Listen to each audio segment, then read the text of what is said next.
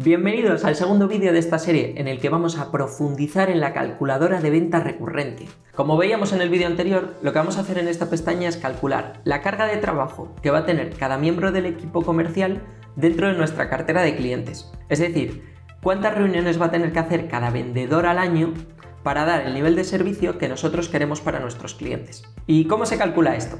Lo primero que vamos a necesitar es clasificar a nuestros clientes y entender cuáles son tipo A, cuáles son tipo B y cuáles son tipo C. Los tipo A van a ser esos clientes a los que queremos darles un servicio premium. Los tipo B tendremos que mantener también un nivel de servicio constante y un nivel de seguimiento. Y los tipo C son ese tipo de clientes que, hablando claro, si les tenemos que dedicar más tiempo del necesario desde el equipo comercial, estamos palmando pasta. ¿Cómo definimos quiénes son tipo A, quiénes son tipo B y quiénes son tipo C? Básicamente lo haremos aplicando Pareto. Los tipo A serán ese 20% de clientes que nos aportan el 80% de la facturación. Los tipo B que nos aporta el 80% de lo que queda, es decir, del 20% restante que no nos aportan los tipo A, y los tipo C serán el resto, que nos aportarán el 20% del 20% es decir, un 4% de la facturación total. Pero ojo, porque aquí os estoy hablando de facturación, pero como os he dicho, lo que nos interesa para esta tabla es el nivel de servicio que les queremos dar. Y puede que en ocasiones el nivel de servicio que les queremos dar y lo que están facturando hoy en día con nosotros no se corresponda. Por eso os aconsejo que además del ABC por facturación, penséis también en si tienen un potencial alto, medio o bajo. Es decir, eh, este cliente al que le estoy facturando X tiene potencial de comprarme más. ¿Podría estar comprándome el doble? Porque si es así, tiene un potencial de crecimiento alto. ¿Podría estar comprándome un 30% más? Sería un potencial de crecimiento medio. Y si ya me está comprando todo lo que me puede comprar, lo dejaremos como un potencial de crecimiento bajo. Y si queremos definir un nivel de servicio de una manera rápida, podemos decir que los que tienen un potencial de crecimiento alto suben de categoría. Es decir, una empresa que es un cliente tipo B en facturación, pero que tiene un potencial de crecimiento alto, le daríamos un nivel de servicio tipo A. Y un cliente tipo C que tiene un potencial de crecimiento alto, le daríamos un nivel de servicio tipo B. Y decir también como último apunte en esto del ABC, que podemos tener ocasiones en las que nos salgan lo que llamamos los A pluses. Es decir, dentro de los clientes tipo A, que haya uno o dos que destaquen muy por encima del resto. Quizá tenemos un cliente que él solo nos está aportando un 15 o un 20% de la facturación. En estos casos no lo vamos a tratar como un tipo A, sino que tendremos que definir una serie de servicios ad hoc totalmente personalizados para ese cliente para fidelizarlo y estar seguro de que no lo vamos a perder, porque nuestra dependencia de ese tipo de clientes es altísima. Estos servicios especiales que hemos definido para ese cliente tampoco van a estar definidos en este plan comercial porque no tiene sentido pensarlo como algo estándar. Es un caso único y tendremos que tratarlo como tal. Es importante entender todo esto antes de empezar a rellenar la tabla, porque realmente es en lo que se basa todo el trabajo que vamos a orientar dentro de nuestra cartera de clientes. Entonces, ¿qué es lo que vamos a hacer en esta tabla? Una vez hayamos calculado ese ABC, que os recomiendo hacerlo con un histórico de datos, por ejemplo, de los tres últimos años, tendremos que ver también a qué comercial está asignado cada uno de esos clientes. Y eso es lo que vamos a trasladar a esta tabla. Entonces, empezaremos a rellenar la tabla poniendo, por ejemplo, Juan Gómez, que es nuestro primer comercial, Elisa Villa, que sería nuestra segunda, y nuestro tercer comercial, que va a ser Jorge Gutiérrez. ¿Vale?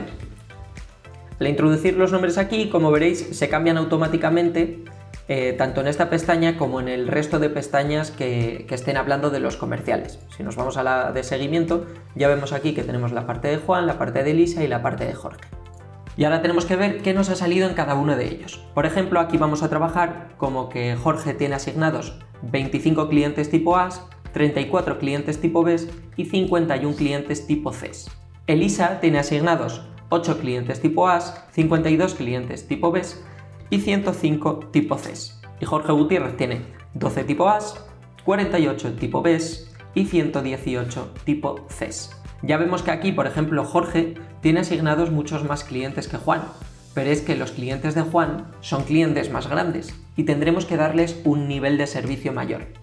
¿Qué nivel de servicio? Eso es lo que vamos a definir ahora. Tendremos que definir un tipo de reuniones. Esto depende muchísimo de cada caso, por eso tampoco os hemos querido orientar hacia ningún camino. Pero en este ejemplo, por verlo, voy a poner que vamos a hacer una reunión de presentación de novedades. Esta segunda reunión podemos poner que sea de seguimiento de objetivos, la que nos sentamos con el cliente para ver cómo estamos avanzando durante ese año y qué podemos esperar de los siguientes meses. Y en el último caso podemos poner una reunión de acompañamiento, que serían como reuniones más light en las que simplemente queremos tener una presencia ahí. En muchos casos esta, esta actividad tampoco tiene por qué ser una reunión, pueden ser llamadas de seguimiento que vamos a hacer para ver cómo está avanzando ese cliente y de las que vamos a sacar una información útil para saber cuándo le tenemos que contactar la próxima vez, cuándo va a hacer el próximo pedido, etcétera, etcétera, etcétera. Ese tipo de llamadas también nos proporcionan avances comerciales y por lo tanto también deben estar reflejadas en estos planes. Entonces, ¿qué vamos a hacer con los tipo As?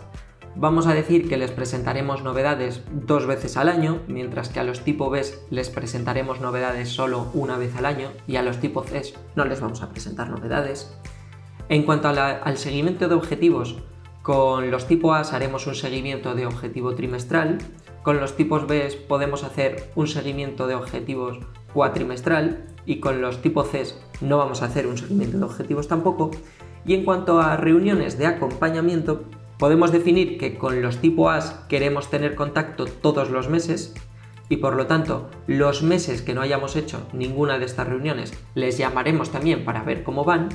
Con los tipo B ya será suficiente con estas reuniones y no tendremos que hacer este tipo de llamadas o este tipo de acompañamiento. En cualquier caso, en este ejemplo concreto vamos a tratar también como que este acompañamiento fuera en reuniones presenciales. Y con los tipo C vamos a hacer una reunión de estas al año. ¿Vale? Para ver cómo van, cómo evolucionan sus objetivos y qué podemos hacer de cara al año que viene. Con esto ya nos ha recalculado de manera automática cuál es la carga de trabajo que va a tener cada miembro del equipo dentro de la cartera de clientes. Es decir, cuántas reuniones va a tener que hacer Juan para dar ese nivel de servicio que hemos definido en sus clientes A, B y C, cuál va a ser la carga de Lisa y cuál va a ser la carga de Jorge. Y es importante que veamos también que hemos trabajado la venta recurrente antes incluso de poner los objetivos de facturación que tenemos. Porque deberíamos tener un nivel de servicio asegurado dentro de nuestros clientes para que como mínimo no perdamos facturación en los clientes que ya tenemos. Vamos entonces ahora a definir cuáles son estos objetivos de venta y cómo están repartidos. Os espero en el tercer vídeo.